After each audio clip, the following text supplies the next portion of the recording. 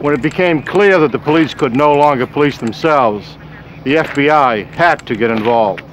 The Mafia is by far one of the deadliest criminal groups in the world. From brokering illegal deals to executing people in the streets, you definitely do not want to double cross them. However, when we see the police, we are expected to have a little respite, as they are meant to be heroes to save the day against the members of the underworld. However, what if they did not? What if they instead swapped their oath to the badge for easy and bloody cash from the hands of the Mafia? Terrible things, I tell you, terrible things. So in this video, I present to you five corrupt cops caught with Mafia members.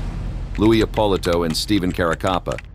Before they became notorious figures in the annals of crime, Louis Eppolito and Stephen Caracappa were once promising young detectives, eager to make a name for themselves in the gritty streets of New York City. Their journey began in the 1970s, a time when the city was plagued by rampant crime and corruption. Eppolito, born in 1948, was the son of a respected NYPD detective. Raised in a law enforcement family, he seemed destined to follow in his father's footsteps. Caracappa, on the other hand, grew up in the tough neighborhoods of Brooklyn, surrounded by the allure of organized crime. Despite their different upbringings, both men shared a common goal to protect and serve the city they loved. Eppolito joined the force in 1969, while Caracappa followed suit a few years later. Little did they know that their paths would cross and their destinies would become intertwined in ways they could never have imagined. As young officers, Eppolito and Caracappa quickly earned a reputation for their dedication and tenacity. They were known for their relentless pursuit of justice, often going above and beyond the call of duty to solve cases and bring criminals to justice. Their rise through the ranks was swift, as they proved themselves to be exceptional detectives. Eppolito's sharp instincts and Caracappa's street smarts made them a formidable team, and they were soon assigned to high-profile cases that garnered attention both within and outside the police department. The duo's success did not go unnoticed, and they became local heroes, celebrated for their ability to crack even the most challenging cases. Their colleagues admired their work ethic and their unwavering commitment to justice. But beneath the surface, a darker side was taking shape. Unbeknownst to their fellow officers, Eppolito and Caracappa had formed connections with the very criminals they were supposed to be apprehending. It was during this time that they caught the attention of a powerful mob underboss who saw an opportunity to exploit their positions within the police force for his gain. Eppolito and Caracappa found themselves caught in a web of corruption, torn between their duty as officers of the law and their allegiance to the mob. As their careers continued to flourish, so did their involvement with the criminal underworld. They became trusted confidants of the mob underboss, providing him with valuable information and even carrying out hits on his behalf. The lines between right and wrong became increasingly blurred for Eppolito and Caracappa as they straddled the worlds of law enforcement and organized crime. Their actions would have far-reaching consequences, not only for themselves, but for the entire criminal justice system. As Louis Eppolito and Stephen Caracappa continued to operate under the radar, their double lives remained hidden from their colleagues and loved ones. But the truth has a way of surfacing, and their carefully constructed facade was about to crumble. In the late 1980s, an investigation into organized crime began to gain momentum, led by a dedicated team of federal agents and prosecutors. Their target? The very mob that Eppolito and Caracappa had been secretly working for. As the net tightened around the mobsters, the investigators stumbled upon a shocking revelation, the existence of corrupt police officers who were aiding and abetting the very criminals they were supposed to be arresting. The investigation soon zeroed in on Eppolito and Caracappa as whispers of their involvement with the mob began to circulate within law enforcement circles. The evidence against them was mounting, and it was only a matter of time before their secret lives would be exposed. In 1992, the truth finally came to light. Eppolito and Caracappa were arrested and charged with a litany of crimes, including murder, kidnapping, and obstruction of justice. The news sent shockwaves through the city as the public grappled with the realization that two trusted detectives had been living a life of crime. The trial that followed was nothing short of sensational. The prosecution presented a mountain of evidence, including witness testimonies, wiretap recordings, and financial records, all pointing to Eppolito and Caracappa's involvement in the mob's criminal activities. The defense, however, fought tooth and nail to discredit the evidence, painting a picture of two dedicated officers who had been framed by the very criminals they had been investigating. But the jury saw through the smoke and mirrors, and in 1994, Eppolito and Caracappa were found guilty on multiple charges. The fallout from their conviction was immense. The public's trust in law enforcement was shattered and questions were raised about the extent of corruption within the police force. The case also exposed the vulnerabilities of the criminal justice system, highlighting the need for stricter oversight and accountability. Eppolito and Caracappa were sentenced to life in prison without the possibility of parole. Their once promising careers had come to a disgraceful end, leaving a trail of devastation in their wake. But the story doesn't end there. The legacy of their crimes continues to reverberate as the repercussions of their actions are still felt to this day. The case of Louis Eppolito and Stephen Caracappa serves as a chilling reminder of the dangers of unchecked power and the thin line between justice and corruption.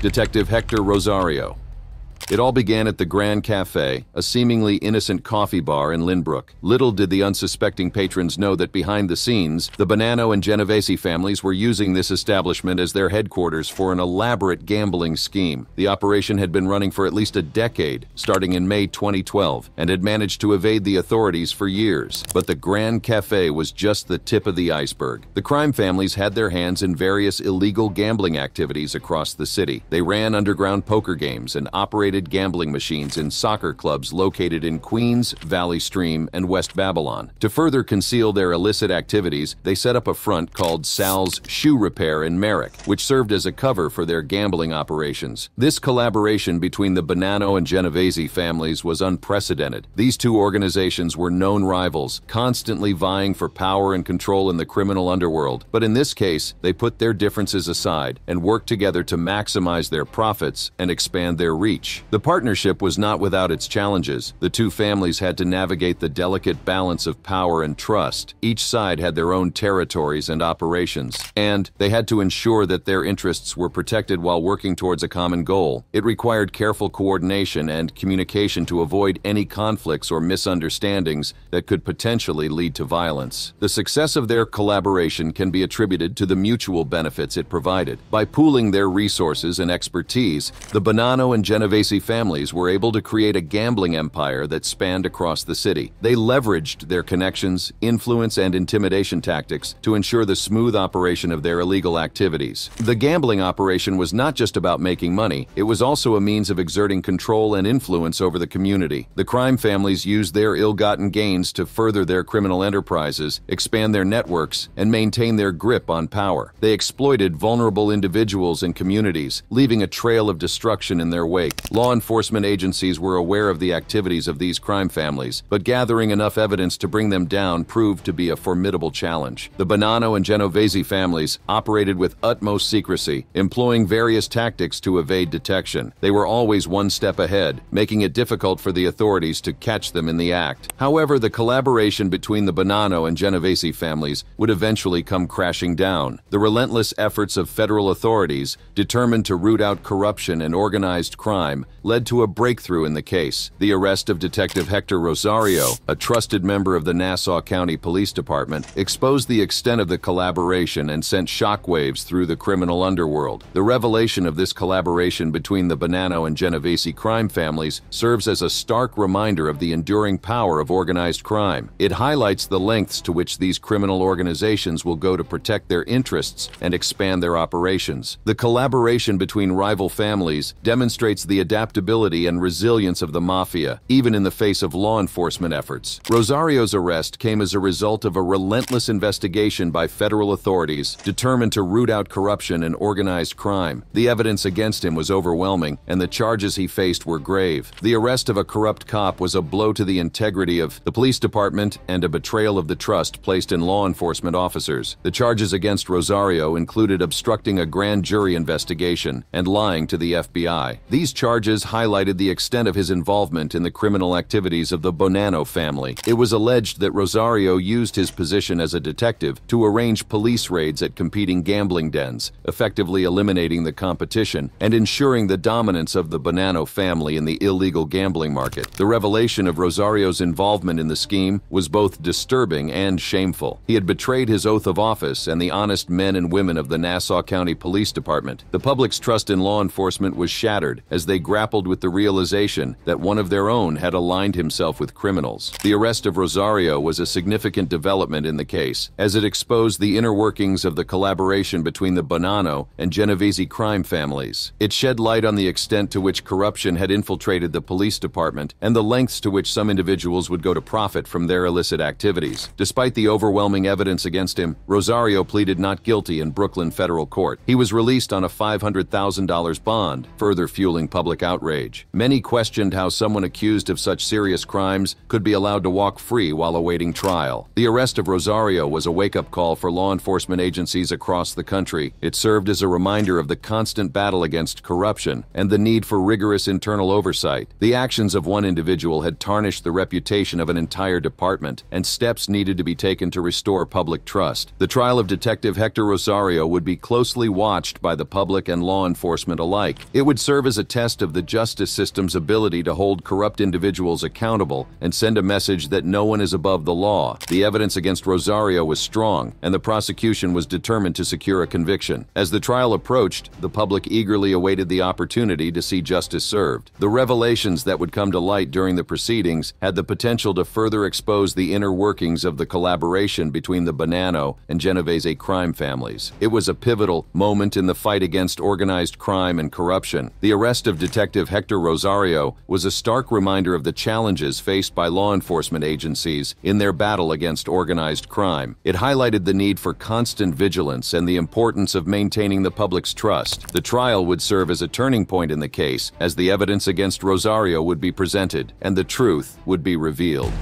Rafael Perez, it was the year 1995 when Perez joined the Crash Unit, a specialized anti-gang task force. His mission was to combat the rising tide of violence and crime that plagued the city, and he was determined to make a difference. Perez's undercover work was his bread and butter. He would go to great lengths to infiltrate the world of drug dealers, buying narcotics from them only to later arrest them and put them behind bars. It was a dangerous game, but one that Perez excelled at. He relished the rush of adrenaline that came with each successful operation, but Perez's dedication to his job didn't go unnoticed. His colleague, a seasoned officer, warned him about the dangers of becoming too immersed in the criminal underworld. Little did Perez know that his colleague's words would soon prove prophetic. Working primarily at night with minimal supervision, Perez had near absolute power and authority. He became untouchable, believing he was above the law. This newfound arrogance would lead him down a dark and treacherous path. It was in this very building that Perez's life would take a sinister turn. Alongside his partner, Nino Durden, Perez shot and framed framed an unarmed 19-year-old gang member named Javier Ovando. The consequences of their actions would be devastating. Ovando, once a young man with dreams and aspirations, was now confined to a wheelchair, his life forever altered by the corrupt actions of Perez and Durden. But the true extent of their betrayal would only come to light during Ovando's trial. Perez and Durden, driven by their own twisted agenda, lied under oath, claiming that Ovando had attempted to murder them in an abandoned apartment. But the truth was far more sinister. The building was not abandoned at all. Ovando lived there, on the same floor where Perez and Durden had set up an observation post. Despite Ovando's desperate pleas of innocence, his words fell on deaf ears. The jury, swayed by the perjury of Perez and Durden, sentenced him to 23 years in prison. It was a grave miscarriage of justice, one that would haunt the LAPD for years to come. As news of the case spread, rumors began to circulate about the LAPD's involvement with Death Row Records, a successful rap label owned by Marion Suge Knight, an alleged Mob Piru Bloods gang member. The lines between law enforcement and organized crime were becoming increasingly blurred. Internal investigations revealed that Suge had hired off-duty police officers as security guards for death row, further deepening the web of corruption within the LAPD. But it was Perez's actions that would ultimately lead to his downfall. On March 27, 1998, Perez made a fateful decision. He stole six pounds of cocaine from an evidence room, catching the attention of detectives. The LAPD created an internal investigation task force focused on bringing Perez to justice. On August 25, 1998, the task force finally caught up with Perez. As he was being arrested, his first words were chilling. Is this about the bank robbery? The bank robbery in question had taken place just a year earlier. Three men had stolen a staggering $722,000 from a Bank of America branch in Los Angeles. One of the men, David Mack, was a fellow LAPD officer and a member of Crash. Perez had gone to Las Vegas with him, raising suspicions about his involvement. In December 1998, Perez Perez stood trial, facing charges of cocaine possession and intent to sell, grand theft, and forgery. The jury deadlocked, leading to preparations for a retrial. But the investigation didn't stop there. Investigators delved deeper into Perez's activities and uncovered 11 more instances of suspicious cocaine transfers. It seemed that Perez's crimes were even more extensive than initially thought. Faced with the prospect of a lengthy conviction, Perez made a decision that would send shockwaves through the LAPD. On September 8, 1999, he cut a deal,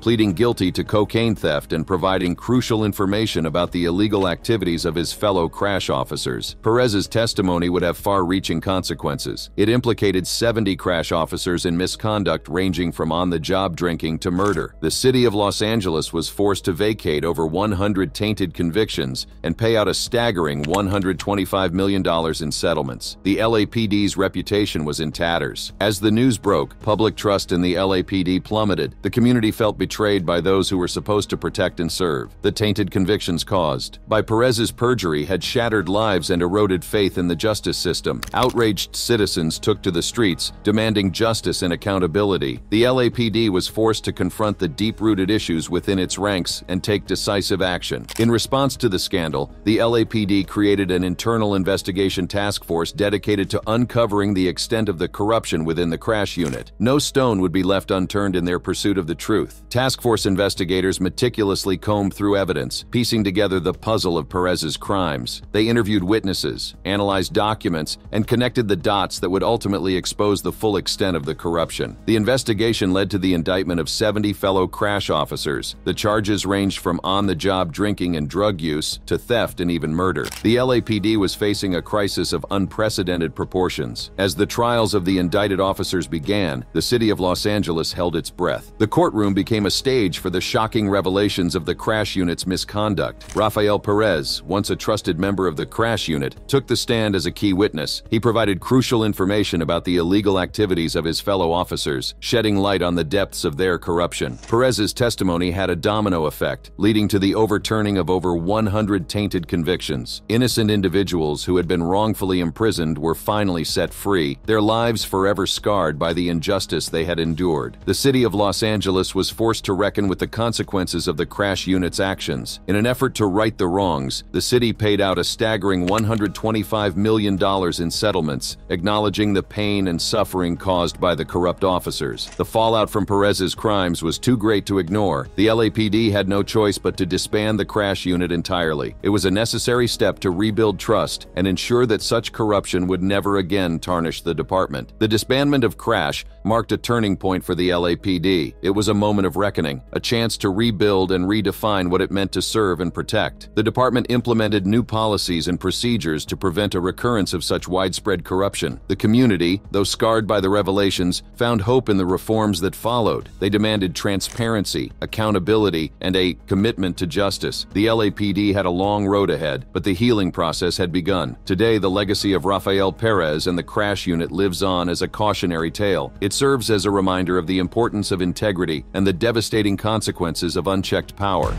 Len Davis, Len Davis, known as the Desire Terrorist, was a patrol officer who operated in the Desire public housing complex. But behind his uniform, Davis was involved in a web of drug activities that spanned the streets of New Orleans. He led a small cadre of law enforcers who pushed cocaine through the city, providing cover to drug dealers through violence, intimidation, and falsified evidence. Let's rewind to the 1990s, a time when corruption ran rampant within the New Orleans Police Department. Davis, with his menacing presence, struck fear into the hearts of both criminals and innocent civilians. He was not just a cop gone rogue, he was the mastermind behind a criminal enterprise that operated under the guise of law enforcement. In 1994, the city of New Orleans was plagued by a wave of violence, with over 400 murders reported that year alone. Amidst the chaos, Len Davis used his position of power to further his own criminal agenda. He saw an opportunity to profit from the drug trade that was ravaging the city, and he seized it with both hands. Len Davis operated with impunity, using his knowledge of police procedures to evade detection protection. He would tip off drug dealers about impending raids, allowing them to escape before the authorities arrived. Davis had created a system where the lines between law enforcement and criminal activity were blurred beyond recognition. But Davis's reign of terror didn't stop there. He used violence and intimidation to maintain control over his drug empire. Those who dared to cross him or threaten his operation were met with swift and brutal retaliation. Davis had no qualms about using his position as a police officer to silence anyone who stood in his way. A witness once saw Len Davis beat a young boy senselessly right in front of him. Len Davis's corruption knew no bounds. He would stop at nothing to protect his criminal enterprise, even if it meant resorting to falsifying evidence. Innocent people were framed for crimes they didn't commit, while the real culprits walked free under Davis's watchful eye. The extent of Davis's corruption became shockingly clear in 1994 when he ordered the execution of Kim Groves, a mother of three. Groves had witnessed Davis and his partner beating a young boy, and Davis saw her as a threat to his operation. In a chilling display of power, Davis had Groves silenced forever. The murder of Kim Groves would ultimately be the catalyst for Davis's downfall. The investigation into her death led to the unraveling of his criminal empire, exposing the depth of corruption within the New Orleans Police Department. In 1996, Len Davis was convicted of conspiracy in federal court. The trial shed light on the underpinnings of his crime ring, revealing the extent of his involvement in drug activities and the lengths he went to protect drug dealers. Davis was sentenced to death, and he remains incarcerated in the United States Penitentiary in Terre Haute, Indiana. The arrest and conviction of Len Davis should have marked the end of his reign of terror. However, the impact of his corruption continued to haunt the city of New Orleans. For almost three decades, the cases that Davis touched during his time on the force were left unreviewed, leaving innocent individuals imprisoned and the true perpetrators of crimes free to roam the streets. The review of the cases associated with Len Davis is just the beginning. The district attorney's office is currently reevaluating hundreds of cases, seeking to rectify the injustices caused by his corruption. It is a long and arduous process, but one that is necessary to restore faith in the justice system. The arrest and conviction of Len Davis should have marked the end of his criminal enterprise, but the impact of his corruption continued to reverberate through the lives of those wrongfully convicted. For years, the cases that Davis touched were left unreviewed, leaving innocent individuals behind bars, while the true perpetrators remained at large. It wasn't until recently that the Orleans Parish prosecutors, along with a team of dedicated defense attorneys, began to systematically review the cases associated with Len Davis. The goal was to uncover the truth, to right the wrongs that had been done, and to bring justice to those who had been unjustly imprisoned. The review process was a daunting task, as it involved going through hundreds of cases that had been tainted by Davis's corruption. Each case had to be meticulously examined, evidence reevaluated, and witnesses re-interviewed. It was a race against time to uncover the truth and bring justice to those who had suffered for far too long. As the review process unfolded, shocking revelations began to emerge. It became clear that the convictions of Bernell Juluke, Kunta Gable, Leroy Nelson, and many others were based on flawed evidence, coerced testimonies, and the manipulation of facts by Len Davis and his associates. Bernell Juluke, Kunta Gable, and Leroy Nelson, known as the Davis Three, were among those who had been wrongfully convicted for the murder of Rondell Santinac. Their convictions were solely based on the testimony of Len Davis, who had falsely implicated them in the crime. The truth was that they were innocent victims caught in the web of Davis's corruption. The fight for justice didn't end with the review of the cases. It was just the beginning. The wrongful convictions exposed the deep-rooted flaws within the justice system and the urgent need for reform. The Orleans Parish prosecutors, along with advocacy groups and community activists, rallied together to push for changes that would prevent such injustices from happening again.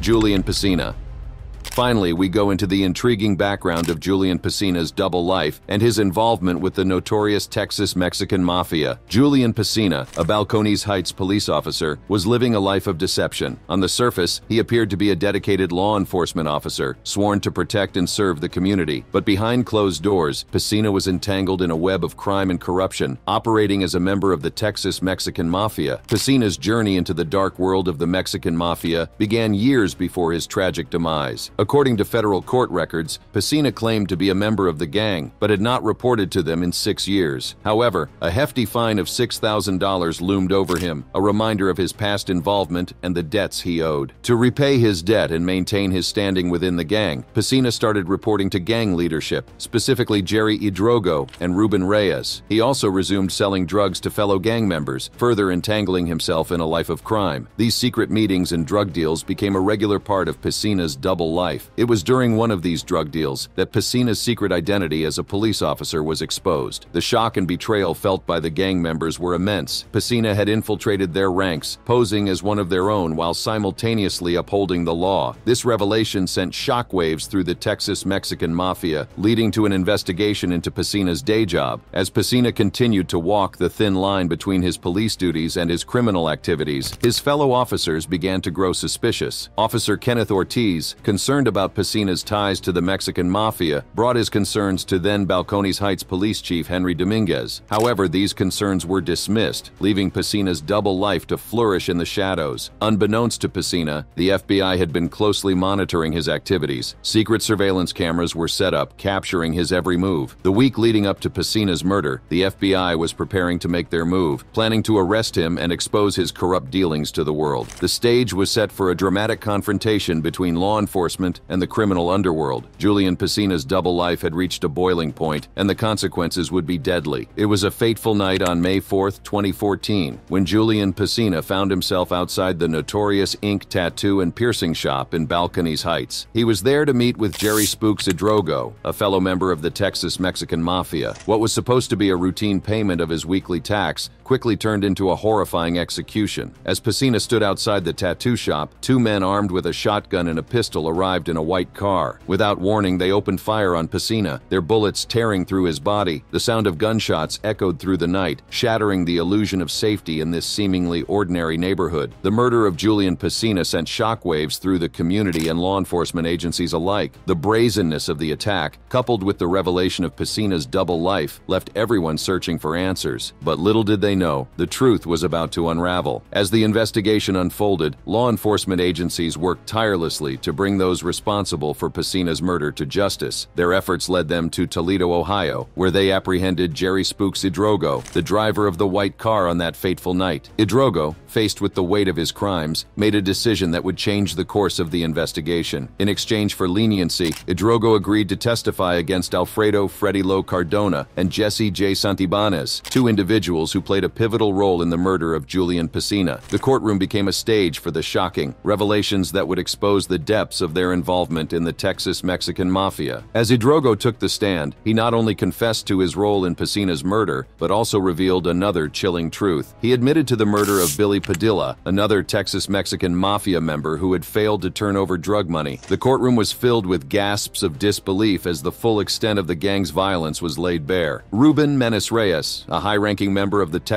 Mexican Mafia, also faced justice for his crimes. Reyes, responsible for ordering the hit on Pesina, had a long history of violence within the gang. In court, it was revealed that he had been involved in the murders of Ulysses Farias, Mark Lefty Bernal, Carlos Worm Chapa, and Johnny Smiley Solis. The weight of his actions finally caught up with him as he was sentenced to five consecutive life sentences. Both Alfredo Freddy Lo Cardona and Jesse J. Santibanez were found guilty of murder in aid of racketeering and discharging a firearm during a murder in aid of racketeering. The courtroom was shown the chilling footage of the ambush outside Pesina's tattoo shop, leaving no doubt about their involvement. They were sentenced to life in federal prison, ensuring that they would pay for their crimes. The arrests and convictions brought a sense of closure to the case of Julian Pesina's murder, but the shocking truth of his double life and the depths of corruption within the Texas Mexican Mafia left a lasting impact on the community.